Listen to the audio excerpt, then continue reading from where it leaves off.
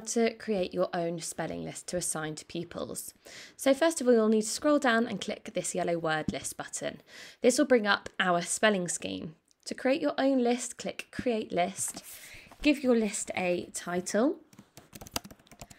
Then you can choose whether you want um, the phonics option on it or not.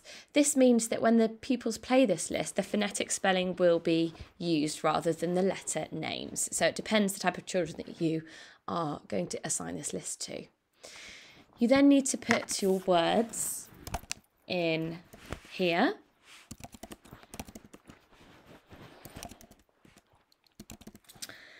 Then click save and then you have got your new list here, which you can set as a favourite, create an assignment, a hive, print or add, edit or delete this list.